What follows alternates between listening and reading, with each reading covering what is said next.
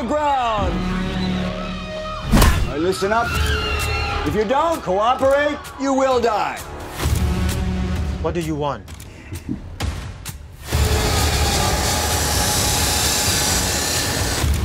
My dad is gonna come get me and you're gonna be in trouble. He's a soldier.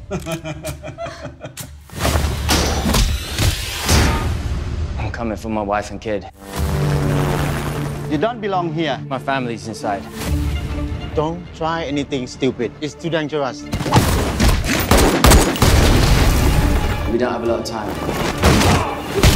We got a gang of very well armed robbers. We need to stop them from spreading hate all over the city. If it gets out of here, it will be hell.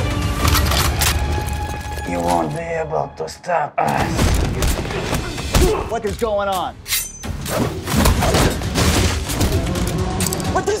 Here?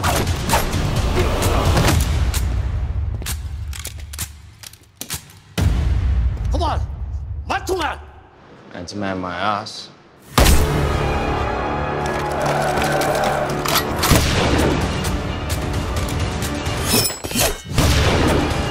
You still think you're gonna get out of this one? huh?